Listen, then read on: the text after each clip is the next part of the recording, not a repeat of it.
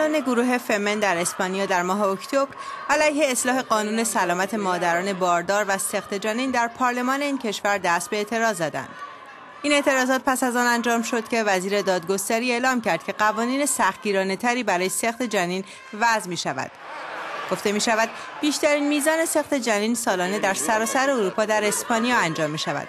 حدوداً دوازده هزار مورد در سال. اصلاحات پیشنهادی دولت بسیار بحث برانگیز بود. بر اساس نظرسنجی روزنامه اسپانیایی ال پایس اکثریت مردم با آن مخالفند.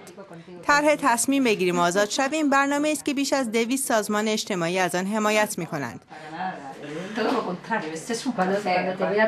قانون فعلی مشکلات را کم کرده است. دسترسی زنان به سخت جنین به شکلی است که می تواند به سلامت آنان اطمینان داشت و مطمئن بود تبعیضی علیه زنان اعمال نمی شود.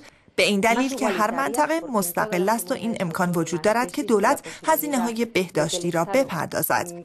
تعداد عملهای جراحی سخت جنین افزایش نیافته است. وقتی قانون درست و به شکل استاندارد عمل می کند از نظر قضایی یا بهداشتی یا اجتماعی هیچ دلیلی وجود ندارد که بخواهیم آن را تغییر دهیم.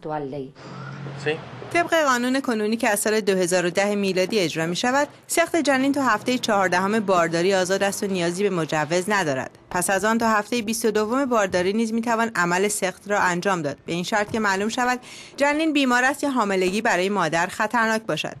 بیشتر عملهای سقط جنین در کلینیک های خصوصی مانند این کلینیک انجام می شود و هزینه های درمانی را بیمه های خدمات اجتماعی پرداخت می کنند. بنابر قانونی که دولت محافظه کار ماریانو رخوی پیشنهاد کرده سخت جنین در 14 هفته اول بارداری به جز در صورت وقوع تجاوز یا وجود خطر جدی برای سلامتی مادر مجاز نیست و غیرقانونی است. قانون پیشنهادی دولت خشم مدیر کلینیک داتور را برانگیخته است. او می‌گوید پس از سالها زنان دوباره مجبور خواهند شد تابع نظر قاضی یا پزشک باشند و اعتقادات و احساسات خودشان هیچ نقشی در تصمیم گیری ندارد. چنین قانونی به معنای نابودی کامل اختیار زن و حق او بر بدن خیش است و از سوی دیگر به اختلاف های طبقاتی منجر خواهد شد. زنانی که از امکانات مالی برخوردارند برای برخورداری از تضمین های قانونی و بهداشتی به کشوری سفر خواهند کرد که سخت جنین در آنجا قانونی است و زنانی که چنین امکانی ندارند به سخت جنین مخفیانه بدون چنین تضمین های بهداشتی و غذایی متوسل خواهند شد. اولگا از مسئولان مددکاری این کلینیک خصوصی است. او حدود سی سال پیش کمی پس از اینکه قانون سخت جنین در اسپانیا در موارد وقوع تجاوز نقص عضو یا وجود خطر برای سلامتی مادر قانونی شد عمل سخت جنین انجام داده است.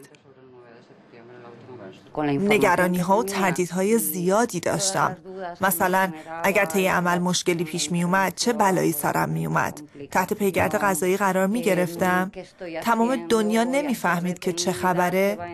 از چهرم معلوم نمی‌شد که همین الان از عمل سخت جنین بیرون آمدم با وجود همه این ترس ها پس از انجام عمل بار بزرگی از دوشم برداشته شد. با اینکه قانونی شدن سخت جنین بسیاری از خرافات را از بین برده ترس از بی‌آبرویی همچنان برای بسیاری از زنان وجود دارد. برای افراد زیر 16 سال موافقت پدر و مادر یا سرپرست قانونی برای انجام عمل جراحی لازم است. در کلینیک دیگری دختر جوان 15 ساله و مادرش حاضر شدند با ما صحبت کنند. دختر جوان می‌گوید که هیچ کس نمی‌تواند نظرش را عوض کند. او می‌گوید که برایش واضح است که باید چه کار کند. و از او می‌پرسیم چرا و او پاسخ می‌دهد زیرا هنوز برای خیلی زود است که مادر شود. مادر این دختر می‌گوید دیدن سخت جنین دخترم برایم سخت است اما درک می کنم که او در سنی است که نمی‌تونه مادر باشه. باید پشتیبانش باشم. هر تصمیمی بگیره من از تصمیمش حمایت می کنم این زوج وکیل با هفت فرزند عضو جامعه حمایت از خانواده هستند. آنها نمی توانند بپذیرند که زنان چه صغیر باشند و چه به سن قانونی رسیده باشند بتوانند درباره بدن خود تصمیم بگیرند. این تصویر کودکی است که از دست داده ایم وقتی از دست رفت دو ماه و نیم از بارداری گذشته بود. به فرزندانمان یاد می‌دهیم که این کودک می توانست خواهر یا برادر کوچکتر آنها باشد. چون نمی‌دانیم پسر بود یا دختر. با آنها می‌گوییم که این کودک اکنون در آسمان ها و نزد خداست. این عکس را همراه عکس بقیه بچه ها نگاه میداریم. از نظر لوئیس و همسرش که از مخالفان سرسخت سخت جنین هستند اصلاحات پیشنهادی دولت کافی نیست. به باور آنها هیچ دلیل اجتماعی بهداشتی و فیزیکی یا حتی نقص عضو جنین عمل سخت را توجیه نمی کند. سخت جنین باید در اسپانیا غیر قانونی باشه. به هیچ وجه نباید از میزان مجرمیت اون کم شه در همه حال باید از مادر حمایت بشه. به ویژه وقتی بارداره. چون حامل انسان دیگری است. و اگر واقعا نمی‌خواد فرزندش رو نگه داره می‌تونه سرپرستی کودک رو به دیگری بسپاره. اما نباید این اجازه به او داده شه که طفلش رو بکشه. قانونی کردن سخت جنین تمدن ما را نابود خواهد کرد. این یکی از بزرگترین اشتباهاتی است که جامعه ما مرتکب شده است. در سراسر اسپانیا اقلیتی وجود دارند که با سخت جنین مخالفند و برای ممنوعیت آن تلاش می کنند. از نظر کمپین مبارزه برای حق زندگی، دولت باید سخت به دلیل ناهنجاری جنینی را ممنوع اعلام کند. همچنین باید لوایحی در سطح ملی برای کمک به زنان باردار تصویب شود. از نظر ما عادلانه نیست که حق زندگی یک کودک رو در مقابل یک موزل اجتماعی قرار بدیم. در اسپانیا چهل الا پنجاه میلیون یورو صرف سخت جنین میشه اما به زنان بارداری که مشکل دارند هیچ کمکی نمیشه. بر مطالعاتی که اخیرا انجام شده 25 درصد زنانی که در اسپانیا دست به سخت جنین می‌زنند این کار را به دلیل مشکلات مالی انجام می‌دهند هدف بنیاد خصوصی مادرینا کمک به زنان باردار و مادرانی است که در شرایط بد اقتصادی به سر می‌برند.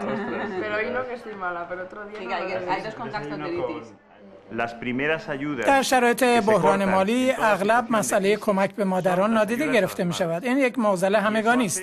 به نظرم آینده با کمک به این مادران و زنان جوان آغاز خواهد شد. برای اینکه این زنان بتوانند شغل و مسکن داشته باشند و تحصیل کنند. Un empleo, una formación. تحصیل کردن. این زنان جوان همگی مادر یک یا چند کودک هستند. امید ورود به دانشگاه و ادامه تحصیلات دانشگاهی آنها را به اینجا کشانده. در اینجا در این کلاس های آمادگی برای ورود به دانشگاه شرکت می کنند این کلاس ها توسط بنیاد مادرینا برای این زنان برگزار می. وقتی به سراغ انگیزه این زنان برای سخت جنین می رویم نظرات آنها متفاوت است.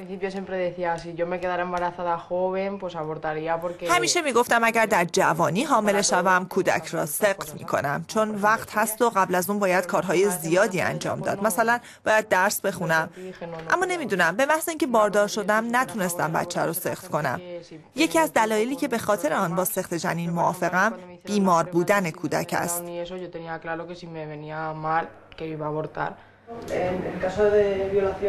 و اما روزانا می‌گوید که حاضر نیست جنینی را که در اثر تجاوز به وجود آمده نگه دارد و اگر بارداری برای او آزار دهنده باشد حتما جنین را سخت خواهد کرد در مورد قوانین مربوط به سخت جنین در سراسر اروپا اتفاق نظر وجود ندارد و کشورهای مختلف قوانین مختلف دارند پارلمان اروپا اخیرا حق زنان بر سخت جنین را از مصادیق حقوق بنیادی نشناخته و آن را به چالش کشیده است.